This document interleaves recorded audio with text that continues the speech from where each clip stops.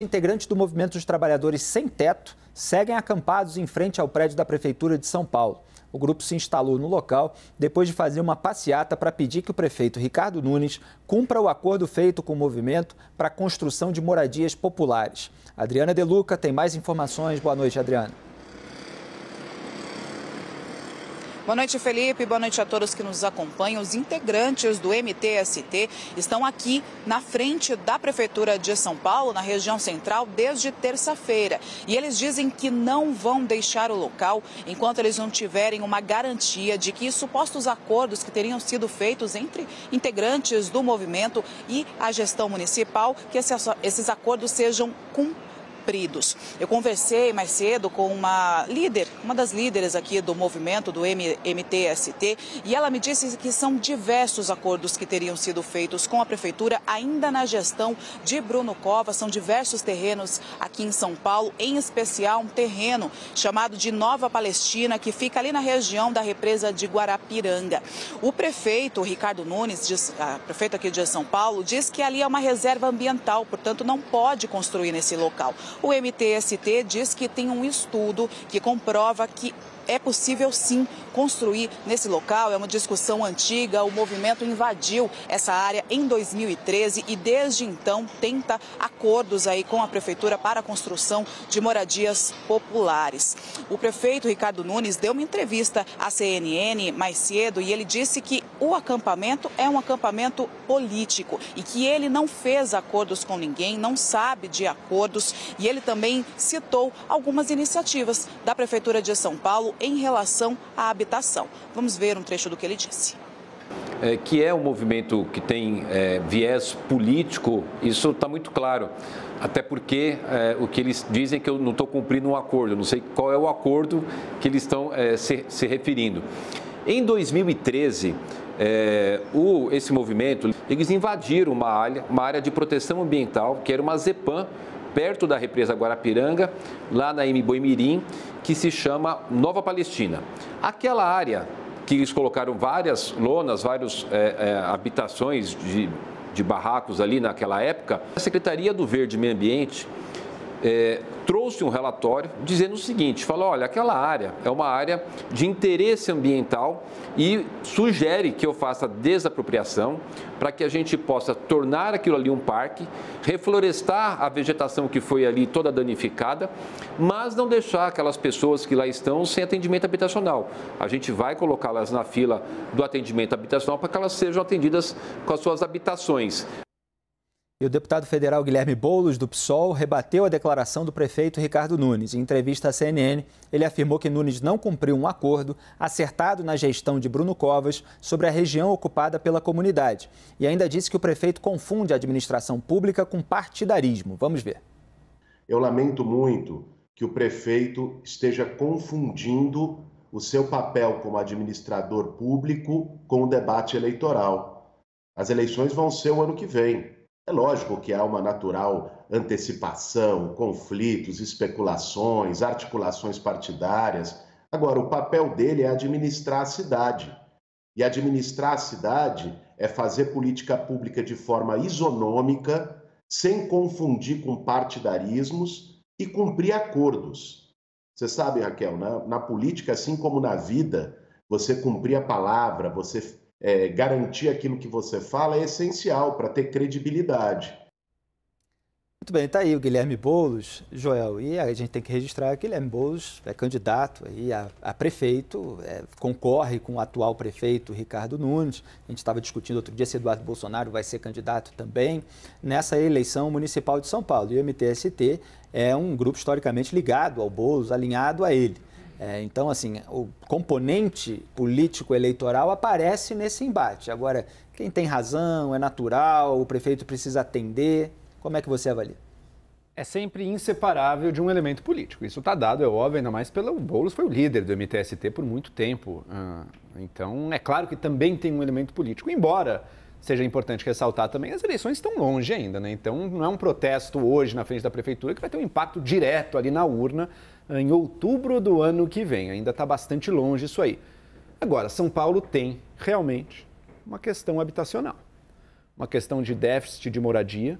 a gente vê aqui na nossa região, a região da Paulista, a quantidade de moradores de rua na cidade de São Paulo, que não estou falando nem de movimento, estou falando de morador de rua, assim, às vezes sem movimento algum por trás dele, mas morando na rua, em barracas, como essas que a gente viu montadas aí na frente da prefeitura, mas espalhadas por diversos pontos da cidade. Então o problema é real. A gente tem ressaltado nas últimas semanas formas ilegítimas de protesto, né? quando um protesto envolve um crime, uma, uma invasão num terreno, ainda mais uma fazenda produtiva.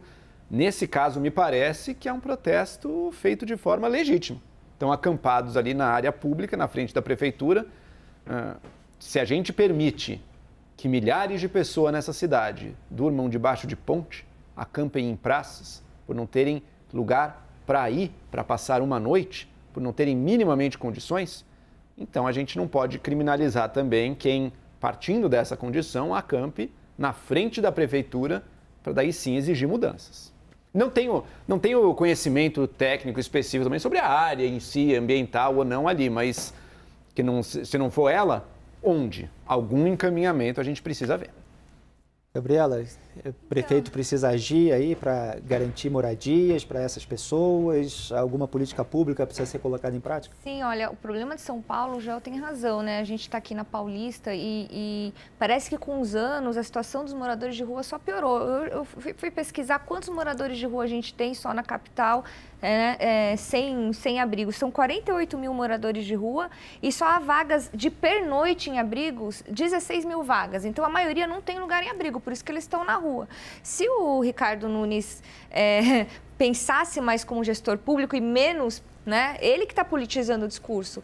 Ele está prejulgando um movimento que é legítimo, do sem-teto, e uma reivindicação que é legítima de pessoas pedindo por moradia. Essa desigualdade que a gente vê hoje está atingindo essas pessoas especialmente, mas também está atingindo todos nós. Quem aqui gosta de ver gente morando na rua e quem também não sente os reflexos dessa população na rua exposta dessa forma, inclusive exposta ao tráfico de drogas, né?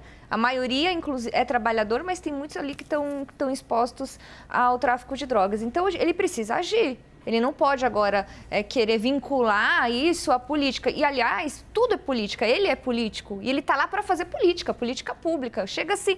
É engraçado como que um político, para justificar não fazer o seu trabalho, ele fala, ah, mas isso é argumento político. Chega a ser até meio contraditória essa entrevista dele. Hélio, nós dois somos do Rio de Janeiro, mas a gente vê, de fato, aqui nas proximidades da Paulista, muito morador de rua, no Rio tem muito também. É, e é um problema habitacional a ser resolvido. Né? O que você destaca nessa situação? É, a gente tem realmente, Felipe, um déficit habitacional muito grande. Uh, e uh, Nesse caso, eles têm uma demanda que eu imagino ser legítima, se for verdade o que está dizendo, que havia um acordo, etc. Mas eu suspeito que sim, que há um, um, uma intenção eleitoral para o ano que vem, é uma pré-campanha já. Bolos ligado ao MTST, né? Pode ter provocado, pode ter incentivado esse movimento para ter a reação e começar o debate. Eu não, eu não descarto essa possibilidade. Eu acho que é. Assim, porque o, o, problema, ele existe, o problema habitacional. Ah. É, isso está dado, isso a gente ah. vê é, no dia a dia. Agora, essa questão do acordo a ser cumprido. A gente fica aí com a palavra de cada lado, né? É verdade, eu não sei. É, isso tem que ser investigado. O prefeito, a gente ouviu dizendo que eu não sei que acordo é. Não tenho nenhum acordo que eu fiz o, o Boulos no outro lado dizendo tem acordo. Sim, esse pessoal lá está dizendo que tem acordo. Difícil a gente julgar. Me parece que sim, tem um componente eleitoral nisso. Agora, Felipe, é, nessa questão de déficit habitacional, etc., a gente está vendo desde o início do governo é, Lula esse método de usar, não é o caso aqui, não houve nenhuma invasão, mas usando um método de invasão, já que eu não tenho residência, vou invadir propriedades, vou tomar a, a, margem da lei, esse tipo de coisa, que virou meio que uma forma de operar de meio que chantagem para então negociar algo favorável. Cada vez que você tem uma reação de que ah, conseguiu sentar à mesa, conseguiu negociar, você está também incentivando cada vez mais, enquanto isso Lula não condena o que o MST, que é outro assunto, eu sei, mas é, é tem relação com o que a gente está dizendo, não condena as invasões feitas, criminosas feitas pelo MST. Então, acho que isso é o fundamental. Temos que resolver o problema habitacional, é grave, mas tem que ser feito de uma forma decente, dentro da lei, né, e os governantes têm que agir. Agora, é, não havendo invasão, né, que é o que você estava falando, Joel, estão acampados ali perto da prefeitura, o prefeito não poderia chamar a liderança, inclusive, para uma reunião? Imagino que vai acabar fazendo isso, né? Precisa sentar, por mais que ele veja um viés político, como a Gabriela botou, tudo tem um viés político aí. Para você trazer a mudança na sociedade, você precisa do espaço de poder para fazer aquela mudança acontecer. Então a discussão sobre o poder e a distribuição do poder está totalmente ligada à discussão de quais políticas o governo vai fazer, que áreas vai priorizar, como vai resolver os problemas. Então, espero que se sente. Nesse caso, como eu estou ressaltando aqui, me parece que é um protesto bastante legítimo.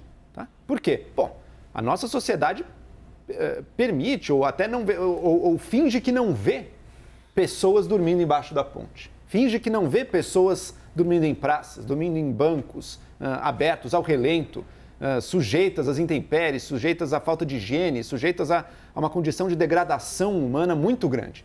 Ora, esse aí não vai dar para fingir que não vê. Esse aí está na porta da prefeitura exigindo uma mudança. E como é feito dentro da lei, se, se esse mesmo grupo tivesse entrou num prédio, ainda mais um prédio com gente morando, eu diria, não, isso aí não dá, isso aí é criminoso, tem que tirar imediatamente. E uma vez que fez isso, não tem mais diálogo, você vai ter que ter algum tipo de sanção.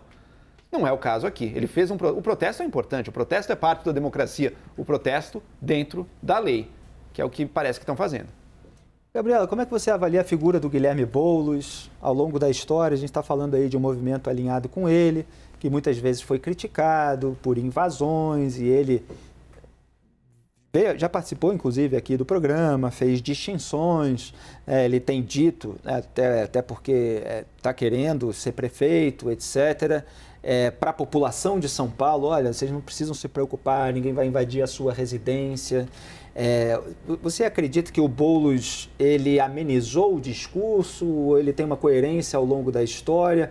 Ele amadureceu politicamente? Você consegue fazer uma análise dele? Eu não sou muito analista política, né? Mas assim, o que eu percebo do Boulos, e aí me identificando um pouco com mas assim, pela trajetória de classe média, né? Então ele é uma pessoa da classe média, os pais médicos, se eu não me engano, e o fato de e ele fez uma coisa que eu não, eu, embora eu seja muito, como vocês perceberam pelos meus comentários aqui, né, muito é, mais à esquerda, ele fez uma coisa que eu nunca tive coragem de fazer. Ele foi lá morar, né, com o movimento, foi conhecer o movimento, se engajou.